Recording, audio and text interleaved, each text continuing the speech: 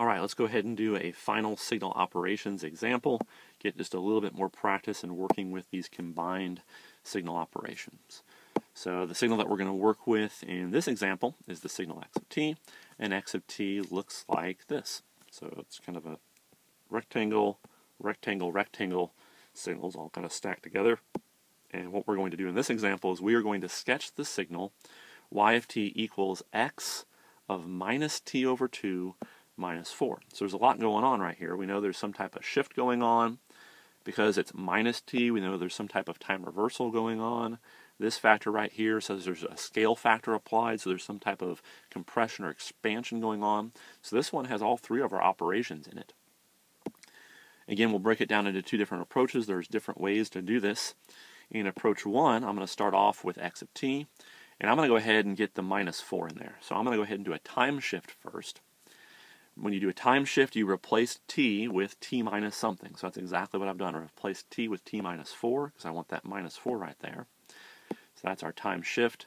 T minus 4 means shift 4 units to the right. After I do the time shift, then what am I going to do? I'm going to go ahead and do the reversal and an expansion.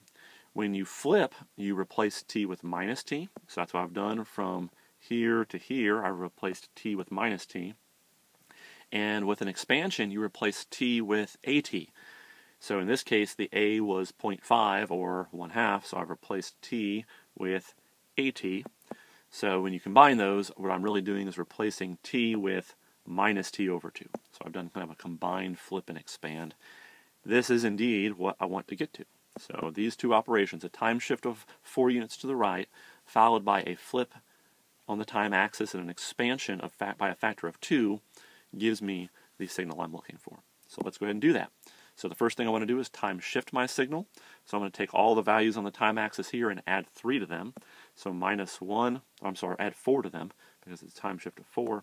So minus 1 plus 4 is 3. 2 plus 4 is 6. So that's what I get after my time shift. Now what do I need to do? So that's x of t minus 4. I need to go ahead and flip and expand.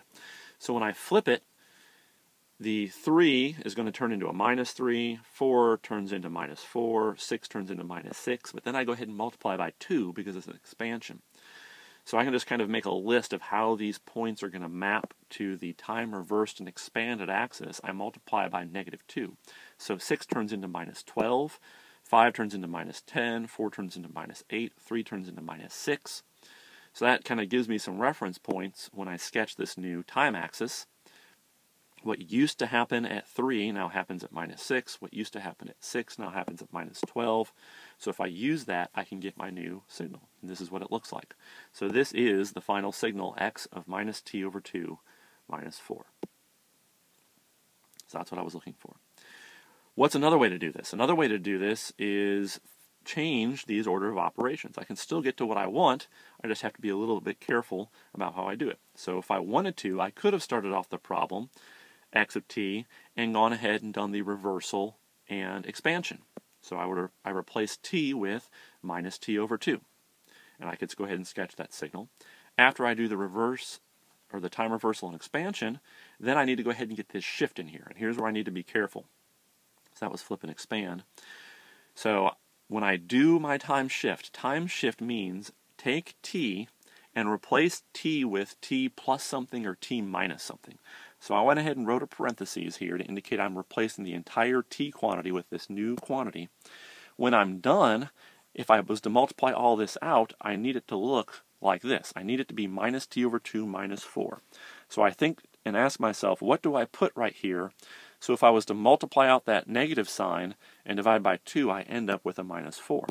So what you need to put there is plus 8. If I distribute this, I get minus t over 2, and then minus 8 over 2, which is minus 4. So to get the time shift that I want in this problem, to get to the final signal that I want, the time shift is completely different. In approach 1, we actually did a time shift of 4. In this one, because the order of operations is different, the amount of shift I need to put in is different. It's a shift of 8 to the left. So it's not only a different amount, it's in a completely different direction as well and it's in the completely different direction because I already did a time flip. or time reversal. So we're not going to sketch these in Approach 2, just wanted to talk through how you would do these in this different order and the care you would take to make sure you end up with the final signal that you want. And most of the time, it's just good to go ahead and kind of put these parentheses in there and leave a blank spot and ask yourself, what do I need to put there if I need it to look like this when I'm done? That's really the best way to think through it. Obviously, when you're done sketching these individual signals, you better end up with a signal that looks exactly like that. It's just a different way to do it.